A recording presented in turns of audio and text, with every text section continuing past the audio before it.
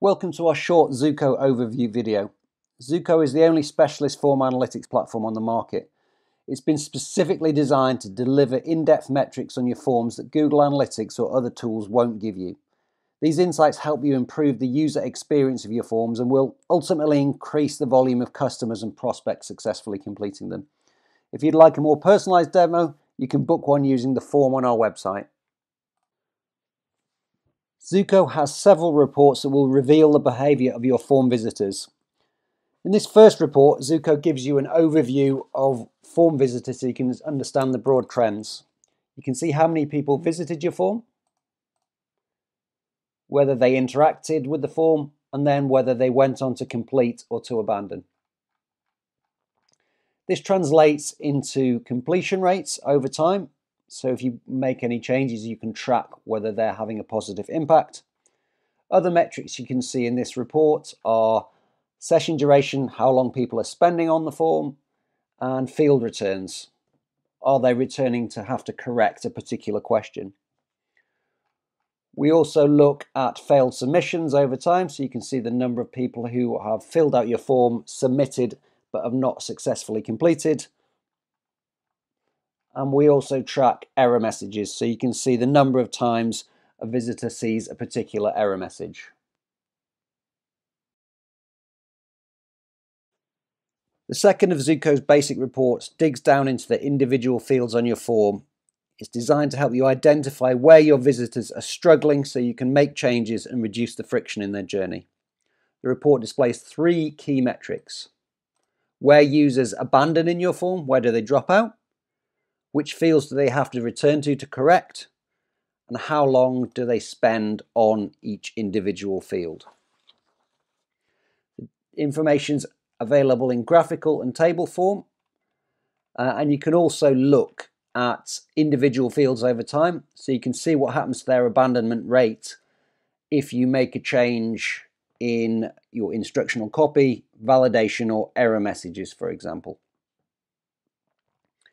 One of the important things we look at is the difference in behavior between users who abandon your form and users who successfully complete the form, because that can be a big indicator of form friction. Zuko automatically segments these groups, so if you spot a big difference in behavior between for one of these metrics, then it's likely you've identified one of your problem fields.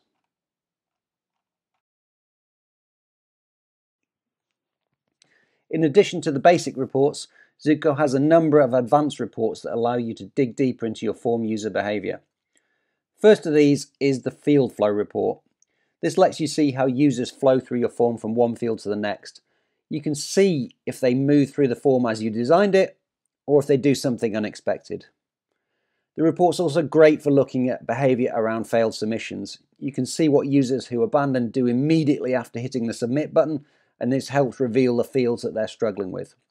For example, in this case with a continue button, we can see that 64% of users drop out immediately after clicking. However, we can also see that 10% of uh, users jump back to username and 5% go to email address before dropping out immediately afterwards. So these show that these two fields here, username and email address, are significant drivers of friction, so should be reviewed.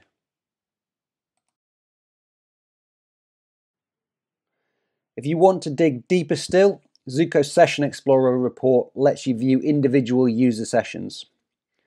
The way it works is you set the parameters at the top, and then from top to bottom, you can see how individual users flow through your form, each of these columns representing a user session. So let's look at number 10 here. We can see that this user is flowing through the form, interacting with the individual fields, going along nicely until they hit continue you can then see they're jumping backwards. So username, continue, username, continue, and then you can see this looping pattern of back and forth until eventually they abandon in frustration. So this report is great for demonstrating that you've lost an individual customer because of a bad form experience. So it's very good for internal discussions to show that there may be an issue with a particular part of your form. Moving on from that, we know that many forms are built as multi-steps. Zuko's Funnel Builder report allows you to visualize each step in your form and understand where the dropout is happening. Some Zuko customers are short on time and they just want to get to the answers quickly. This is why we built the Insight Report. It brings together a collection of metrics linked to your form abandonment so you can quickly see which of your form fields are the most problematic so you can focus on optimizing them first.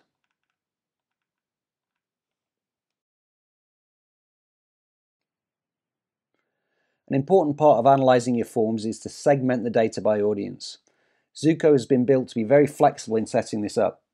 You can use our out-of-the-box audiences such as device type, operating system, browser type, or new versus returning users if you want. Alternatively, you can set up your own.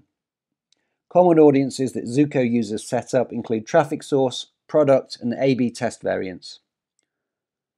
Once you've selected your audience segmentation, Zuko lets you build your own report so you can compare their behavior side by side. The form data segmentation report shows you the differences on a form level. In this instance, we're looking at mobile users compared to desktop users. And what we can see is over the period that desktop users have a higher starter to completion rate and view to completion rate than mobile users do. You can also view this information over time, so if you make any changes, you can see if they affect different audiences differently.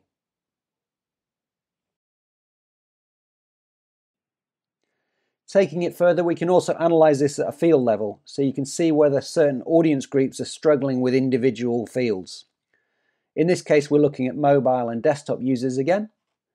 And what we can see, interestingly, is that mobile users have a higher abandonment rate on the email field than desktop users do. This gives us focus into where our problems might be and we can have a look at optimizing the email field for mobile users. The final thing to show you is Zuko's alerting system. You can set up alerts to trigger when your form breaks. This means you'll get early warning and you can fix it right away rather than having hours or days when your customers can't buy from you and you don't know anything about it. So that's Zuko for you. If you'd like to understand more on how it can improve the volume of new customers converting from your forms, then sign up for a personalized demo or a free trial using the links below.